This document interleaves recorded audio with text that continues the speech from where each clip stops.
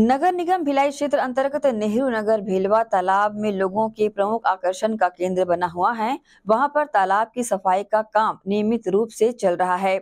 उसके साथ ही उद्यान विभाग द्वारा चारों तरफ़ लगे पेड़ की कटाई छटाई करके सुंदर एवं आकर्षित बनाया जा रहा है। बेलवा तालाब नेहरू नगर सुपेला में निगम द्वारा चलाए जा रहे साफ़ सफ़ाई एवं सौंदर्यीकरण के कार्य से रोज सुबह यहाँ स्वास्थ्य लाभ लेने आए हुए लोगों को काफ़ी खुशी महसूस हो रही है। और ये कह रहे हैं कि हम रोज़ टहलने भी आते हैं। अभी पेड़ों की कटाई छटाई होने के बाद से और बेहतर माहौल बन गया है। हम सबको भी यह ध्यान देना पड़ेगा कि गंदगी न फैलाई जाए। यहाँ लोग धीरे से आकर कचरा और पूजा सामग्री डालकर चले जाते हैं, जिससे यह तालाब गंदगी से भर जाता है, जबकि इसके लिए अलग से स्थल निर्धारित किया गया है। साथ ही तालाब के अंदर से निकलने वाले कमल के ककड़ी, ढेंस एवं पंखुड़ियों को जैविक खाद बनाने के लिए राशि उद्यान में गड्ढा बनाकर जैविक रूप से निष्पादित किया जाएगा। इससे बनी हुई खाद बहुत ही गुणकारी और उपयोग और उपजाऊ भी होगी। देखिए भिलवा तालाब नगर निगम भिलाई का, नेहरू नगर क्षेत्र का एक आकर्षण का केंद्र है।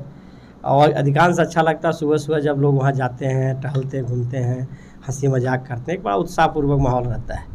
कुछ दिनों से थोड़ा सा उसमें वो आ गया था, कमल का ढेस वगैरह आ गया था, कमल के फूल खिल गए थे। तो कमल ऐसे देखने में तो बड़ा अच्छा लगता है, लोगों को मन मन को भाता है, लोग उसको पसंद करते हैं। लेकिन जब ज़्यादा हो जाता है कोई चीज़ तो अच्छा नहीं लगता है। तो उसको नगर निगम भिलाई संज्ञान में आकर के उसका सफ़ाई कर रहा है वो निकाल रहा है पुराना तालाब की सफ़ाई कर रहा है। उसके साथ साथ जो चारों तरफ़ पेड़ है, आप कभी जाके देखिएगा, मैं आपके चैनल के माध्यम से लोगों से कहूँगा भिलवा तालाब की खूबसूरती देखिएगा। चारों तरफ़ मस्त हरे भरे पेड़ लगे हैं, नारियल के झाड़ हैं, और भी कई प्रकार के हैं। तो थोड़ा सा वो चारों तरफ़ इधर उधर हो गए थे। जैसे कि बाल जब अपन नहीं काटते, छाँटते इधर उधर हो जाते तो हो गया तो उसको ट्रिमिंग किया जा रहा कटाई छटाई किया जा रहा है। बहुत खूबसूरत दिख रहा है। ये नगर निगम के आयुक्त महोदय का निर्देश है कि अपने जितने भी तालाब हैं, उसका सौंदर्य तालाब, गहरीकरण हो। गार्डन का सौंदर्यकरण हो और बारिश से पहले सब व्यवस्थित हो, वही किया जा रहा है। इस तालाब को बीते दिनों गुरुद्वारा गुरु नानक सर संचालन कमेटी को इसके बेहतर रख रखाव के लिए सौंपा गया था, परंतु ऐसा न हो पाया। इसी वजह से निगम ने दोबारा इस भेलवा तालाब को अपने कब्जे में ले लिया है और इस तालाब का सौंदर्यीकरण कराया जा रहा है। एशियन न्यूज़ के लिए भिलाई से संतोष शर्मा की रिपोर्ट।